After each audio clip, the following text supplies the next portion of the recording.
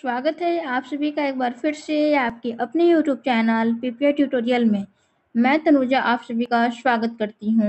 आज की ये वीडियो बहुत ही ज़्यादा इम्पोर्टेंट एंड इन्फॉर्मेटिव होने वाली, क्योंकि अब अप्रैल मंथ आ गया है और सभी कॉम्पिटेटिव एग्जामिनेशन का जो फॉर्म होता है, वो अप्रैल मंथ में रिलीज़ की जाती है। अप्रैल मंथ से लेके मई मंथ तक आपका सारे पैरामेडिकल और बीसीईसी के तहत जितने भी एग्जामिनेशन कंडक्ट करवा दिए जाते हैं तो उसका जो फॉर्म होता है वो सारा निकलना शुरू हो जाता है अप्रैल से मई मंथ तक। तो आज हम लोग इस वीडियो में बात करने जा रहे हैं आपका बीसीईसी तो ये बीसीईसी का जो आप लोग देख रहे हैं प्रोस्पेक्टस है जो कि आपका ओल्ड प्रोस्पेक्टस है, आपका 2023 का। 2023 के प्रोस्पेक्टस के अकॉर्डिंग ही मैं आप सभी को बताने वाली हूँ कि बीसीईसी का फॉर्म कब रिलीज़ की जाती है, कितना चार्ज लगता है और कौन कौन से सब्जेक्ट से कितने नंबर ऑफ़ दी क्वेश्चन पूछे जाते हैं, सारा कुछ आज के वीडियो में हम लोग जानेंगे। तो अगर आप लोग हमारे चैनल पे न्यू हैं, पहली बार हैं तो आप लोग हमारे चैनल को सब्सक्राइब कर बेल आइकन को हिट कर लें और स्पेशली यहाँ पे मैं बात करने जा रही हूँ बी नर्सिंग कोर्स। बहुत सारे स्टूडेंट्स को ये क्लियर नहीं होता है कि बी के थ्रू ही बीएससी नर्सिंग कोर्स आता है ना कि डी के थ्रू। ये कन्फ्यूज़न क्रिएट किसी को नहीं करना है ओके तो चलिए हम लोग बात कर लेते हैं, देख लेते हैं सारा कुछ इस प्रोस्पेक्टस के अकॉर्डिंग तो यहाँ पे आप लोग देख सकते हैं कि बी सी दो हज़ार तेईस से संबंधित महत्वपूर्ण तिथियाँ। तो यहाँ पे साफ़ साफ़ सारा कुछ आपको देखने को मिल जाएगा कि कब बीसीसी का फॉर्म रिलीज़ की जाती है। तो ऑनलाइन रजिस्ट्रेशन स्टार्टिंग डेट आप लोग देख सकते हैं सात मई 2023 मीन्स अभी आप लोगों का अप्रैल मंथ चल रहा है, मई में आप सभी का स्टार्टिंग मई में फॉर्म रिलीज़ की जाएगी।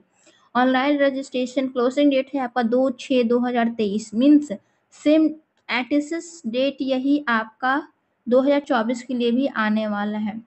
तो आपका मई में फॉर्म रिलीज़ की जाएगी, जून तक चलेगा और फिर इसका एडिटिंग भी आप लोग चार छः दो हज़ार तेईस से पाँच एक दिन का समय आपको एडिटिंग के लिए भी दिया जाएगा। और एडमिट कार्ड एंड एग्जामिनेशन जो है आपका, वो जून से जुलाई के बीच में कंडक्ट करवा दिए जाते हैं। तो इतना चीज़ आप सभी को क्लियर हो गया कि बहुत जल्द आप सभी का एक से डेढ़ महीने के अंदर फॉर्म भी रिलीज़ की जाएगी। इस फॉर्म को भरने में पैसा कितना लगता है? कितना चार्जेस किस कैटेगरी को लगता है? चलिए उसको भी बता दिया जाता है आप सभी को। यहाँ पे ऑनलाइन पेमेंट में आप लोग देख सकते हैं कि उपयुक्त विधियों से परीक्षा शुल्क का भुगतान से संबंधित आवश्यक विवरण। तो यहाँ पे जो अभ्यर्थी सामान्य आर्थिक रूप से कमज़ोर, पिछड़ा वर्ग, अत्यंत पिछड़ा वर्ग के हो पीसीएम फिजिक्स केमिस्ट्री मैथमेटिक्स अथवा PCB physics chemistry and biology अथवा कृषि ग्रुप यथा रसायन विज्ञान सीबीए ये सब जो ग्रुप से बी ए तो उनको जो है वो बीसीसी का फॉर्म भरने के लिए उनको एक हज़ार रुपये की राशि शुल्क के रूप में भुगतान करना होगा। और जो डी से हैं एससी से हैं एसटी से हैं, उनको पाँच सौ रुपये ये फ़र्स्ट आप लोग पढ़ सकते हैं। फिर सेकंड पॉइंट में कहा जा रहा है कि अगर आप लोग P C M B group से हो या फिर आप लोग P C M B group subject group है आपका, इसमें general E W S and BC ये सब वाले जो हैं, वो पीसीएमबी ग्रुप का देंगे तो ये ग्यारह सौ रुपये लग जाएँगे और डीक्यू से जो पीसीएमबी ग्रुप है, उनका साढ़े पाँच सौ रुपया लग जाएगा। तो ये दोनों आपका हो गया ऑनलाइन पेमेंट इतना इतना पैसा आपको लग जाएगा। अगर सिर्फ़ एक पीसीबी या फिर पीसीएमबी पीसीएम भरते हैं तो एक हज़ार रुपये और डीक्यू वालों को और एस सी वालों को पाँच सौ रुपये।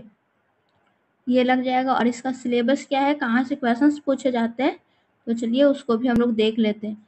और सारा कुछ आपको इस प्रोस्पेक्टस में मिल जाएगा। तो देखिए, इतना इतना रिजर्वेशन मिलता है। एससी को 16 परसेंट एसटी को एक परसेंट ई को 18 परसेंट बीसी को 12 परसेंट आर को तीन परसेंट और ई e को दस परसेंट।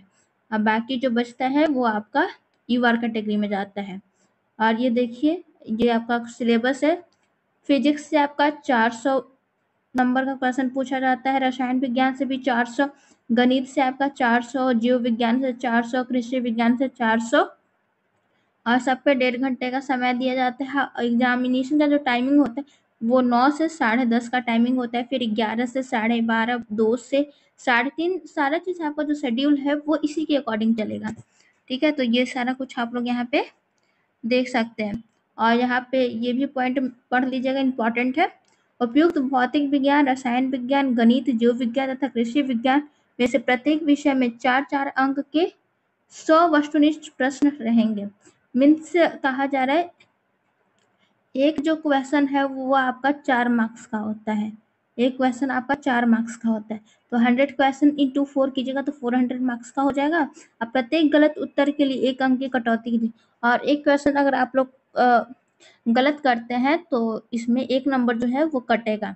तो इसमें निगेटिव मार्किंग भी है और फिर सेकंड पॉइंट में है कि फिजिक्स केमिस्ट्री मैथ्स प्राप्तांकों के योग के आधार पर पीसीएम ग्रुप के लिए भौतिक विज्ञान, रसायन विज्ञान तथा जीव विज्ञान में प्राप्तांक के योग के आधार पर पीसीबी ग्रुप तथा रसायन विज्ञान, जीव विज्ञान अथवा भौतिक विज्ञान में कृषि ग्रुप के लिए अलग अलग मेधा सूचियाँ बनाई जाती है।